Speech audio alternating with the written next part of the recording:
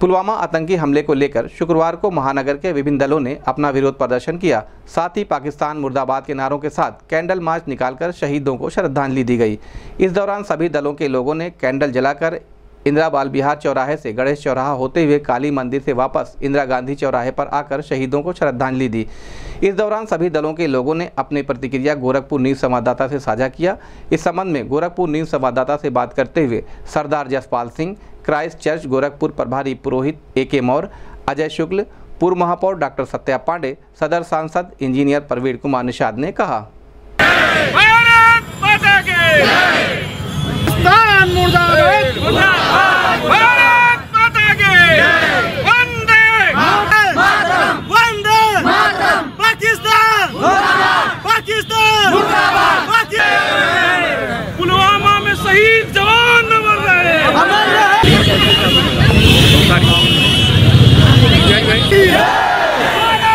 देश के नाम।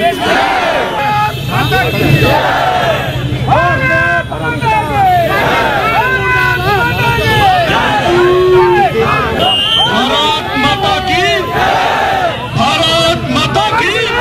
शहीदों के प्रति अपनी भावभीनी श्रद्धांजलि व्यक्त की और उनके साथ जो भी गणमान्य नागरिक उस बोर्ड पर अंकित करें निश्चित तौर पर आज का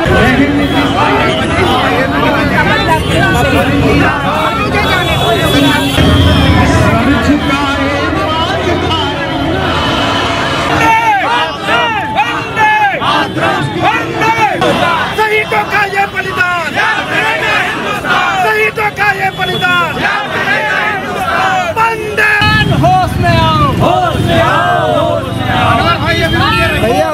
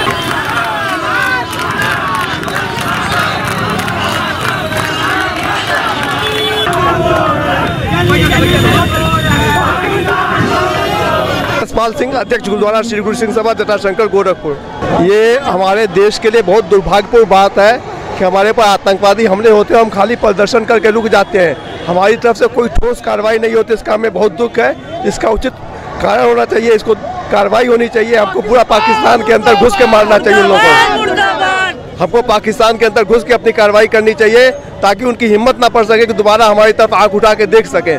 हमको शव के बदले शव चाहिए और कुछ नहीं चाहिए। हमको ये प्रदर्शन से कुछ नहीं मिलने वाला है। जब तक हमारी सैनिक कार्रवाई नहीं करेंगे हमको इजाज़त नहीं होगी हमको आदेश नहीं होगा हम कुछ नहीं कर पाते हैं। ये हमारे लिए दुर्भाग्यपूर्ण बात है हमारे लिए। धन्यवाद। मैं मेरा नाम रेवरेंड डी आर लाल है। मैं क्राइस्ट चर्च गोरखपुर का प्रभारी पुरोहित हूँ। देखिए ये बहुत ही कायराना हरकत है पाकिस्तान की। आप जानते हैं और सारा विश्व जानता है कि आतंकवाद को बढ़ावा देने वाला एक जो सबसे बड़ा देश है, वो पाकिस्तान है।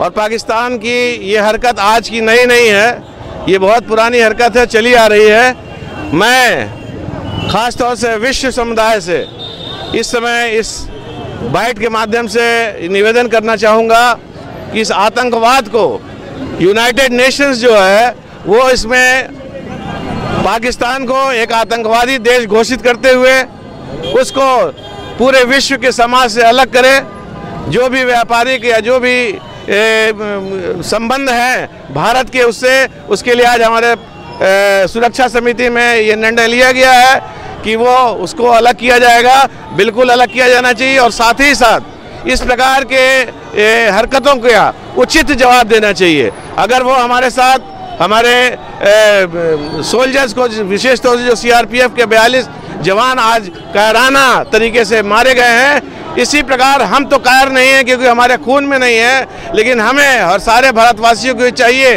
कि खुले आम जाके जिस प्रकार ऐसा सुना गया था कि पिछले दिनों सर्जिकल स्ट्राइक हुई थी, सर्जिकल स्ट्राइक नहीं, बल्कि खुले आम हमला करके जितने बयालीस मारे गए हैं, उनके कम से कम साढ़े चार सौ सोल्जर्स को और ऐसे लोगों को जो आतंकवादी गतिविधियों में लिप्त हैं, मारना चाहिए और उनके ऐसे स्थानों पे जहाँ से ये प्रायोजित किया जाता आतंकवाद, उस पर बमबारी करके उसको नष्ट कर देना चाहिए, यही मेरा संदेश है। ए के मौर्य घोर निंदनीय कार्य है। भारत सरकार को इसके ऊपर पूरी कार्रवाई करनी चाहिए। पाकिस्तान को नस्नेबूत कर देना चाहिए। यही हम लोगों की मांग है। और हम लोग तब तक शांत रहे जब तक पाकिस्तान का नामो निशान न मिटता है आतंकवादी गतिविधियों को पूर्ण रूप से समाप्त किया जाए। भारत की पहली प्राथमिकता होनी चाहिए ताकि अमन चैन बरकरार रहे। धन्यवाद। देखिए इस आतंकी हमले पर यही कहना है कि अब निर्णय होना चाहिए और निर्णय के साथ साथ हमारे सेना के जवानों को पूरी तरह से छूट होनी चाहिए कि पत्थरबाजों को भी गोली मारी जाए। जो भी सेना का विरोध करता है, भारत माता का विरोध करता है, झंडे का विरोध करता है, सबको जो है सख्त से सख्त कार्रवाई किया जाए। आज़ाद हिंद चेतना मंच, हिंदू चेतना मंच ने विश्व का सबसे लंबा तिरंगा शहीदों के सम्मान के लिए ही ये कार्य किया हुआ है। और ये कार्य तब तक चलता रहेगा जब तक शहीदों को संवैधानिक रूप से शहीद का दर्जा नहीं मिल जाता है, क्योंकि आज तक शहीदों को ऐसा दर्जा नहीं मिला हुआ है। ये जो, पुलवामा में जो ये कायराना हमला हुआ है, इसकी मैं बड़े कड़े शब्दों में निंदा करने के साथ मैं बिल्कुल स्तब्ध हूँ कि हमारा पड़ोसी देश अपने इस कृत्य से कब बाज आएगा और ये निश्चित तौर पर बताना चाहता हूँ कि अब हमारा, हम जो धीरज है वो एकदम टूट रहा है और मुश्किल में है वतन जल्लाद बनना होगा। अब यहाँ पर हर हिंदुस्तानी को बिस्मिल और आज़ाद बनना होगा। अब हम सब तैयार हैं। अगर किसी तरीके कोई कार्रवाई होगी, हमारे माननीय प्रधानमंत्री जी ने भी सेना को खुली छूट दे दी है। निश्चित तौर पर हम चाहते हैं एक सर्जिकल स्ट्राइक पार्ट टू भी जल्दी हो जाए और ये निस्तानाबूद कर दिए जाएँ। कल जो पाकिस्तानी दरिंदगी हुई है भारतवर्ष के वीर सपूतों को, जो शहीद हुए हैं, उसके लिए आज पूरा जन आक्रोश है। पूरा देश एक साथ खड़ा है। हमें जो हमारे माँ भारती का अगर एक आँसू गिरा है तो हमारा यही मांग है हम महिलाओं का, कि वहाँ भार, भारतीय महिलाओं की खुशी के लिए पाकिस्तान की कोई भी महिला के चेहरे पर मुस्कुराहट ना आए। पाकिस्तान का खात्मा हम सबका संकल्प है। पाकिस्तान के लाहौर पे तिरंगा लहरे, इसका हम लोग ईश्वर से प्रार्थना करते हैं कि हमारे जो सैनिक हैं, पूर्णता, दृढ़ता के साथ आगे बढ़े। यशस्वी हों, दीर्घायु हों और आज हम शशत नमन करते हैं कि हे माँ, तूने हमारे इन बच्चों को तो लिया, लेकिन और बच्चों को आप मत लेना। माँ, भारती को पूरी तरह से हम अपने को इन शहीदों को श्रद्धा धन्यवाद। सबसे पहले तो मैं इस घटना की निंदा करता हूँ और केंद्र सरकार से मांग करता हूँ कि 24 घंटे बीत गया लेकिन कोई भी अभी तक कार्रवाई नहीं हुई। आज पूरा देश रो रहा है। किसी माँ ने अपना बेटा, किसी बहन ने अपना भाई और किसी पत्नी ने अपना सिंदूर खोया है। तो आज हमारे प्रधानमंत्री को ज़रूरत है कि जो उसने वादा किया था कि एक सिर के बदले दस सिर लाने का जो उनका छप्पन इंच का सीना आज उनको दिखाने का वक्त है तो आज मैं मांग करना चाहता हूँ हमारे प्रधानमंत्री से कि अगर अब कार्रवाई नहीं हुई तो कभी नहीं हुई इस देश से आतंकवाद का खात्मा करने का, जो घर में घुसपैठिए हैं, हम अपनी ही धरती पर शहीद हो जा रहे हैं। ये सबसे बड़ी दुर्भाग्यपूर्ण घटना है। तो आज हम मांग करते हैं प्रधानमंत्री से इस देश के नागरिकों के हित के लिए, इस देश की रक्षा के लिए कि ठोस से कदम उठाया जाए। और लेकिन आज हमारे प्रधानमंत्री कहीं जाके ट्रेन का उद्घाटन करते हैं, जबकि लाहौर की दूरी, पाकिस्तान की दूरी सबसे कम है। और जितने हज़ारों करोड़ रुपए किन्हीं योजनाओं में खर्च किए जा रहे हैं, जो हमारे सेना जो हमारी सेना 12 घंटे की जो यात्रा तय कर रही है, हमारे पास हरकुली जैसे विमान है, हमारे पास कई ऐसे विमान है जिससे 16-16 सैनिक एक बार में एक से जगह दूसरी जगह जा सकते हैं। उनके लिए ये सुविधाएँ क्यों नहीं है? मैं ये मांग करना चाहता हूँ।